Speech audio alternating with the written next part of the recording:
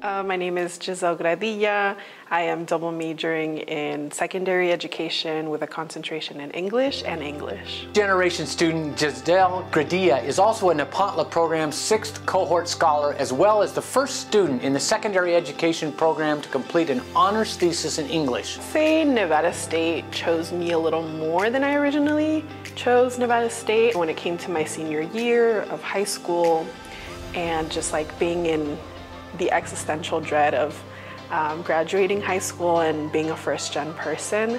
Um, NSC, I think, was mentioned to me by um, an alumni from the year prior to when I graduated, and um, the more I looked up NSC, the more it, it, just felt like it would be a really great fit for me. Her thesis explores the use of testimonial as both experience and method to understand her own lived experiences throughout her education and life on her journey to become a teacher and shares recommendations for a potential program to support and empower first-gen, low-income, BIPOC students who are in high school. My entire community that I have built here um, have been super influential in my success.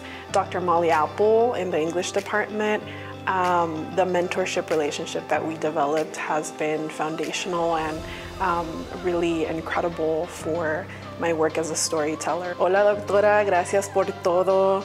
Um, Thank you for being in community with me and um, for embarking on this journey with me. Her commitment to students through responsive approaches embodies the School of Education's mission to locally grow and effectively prepare teachers committed to advance justice and equity through improving education for all learners. I'd love to thank my family, my younger siblings, um, and my parents especially um, for all of the support that they have given, given me throughout this journey. I cannot stress enough how much, um, again, myself as a first gen person, um, my story, my success is bigger than me, just like all of my other first gen community members. Our, our stories are everything, our stories are breaking generational curses.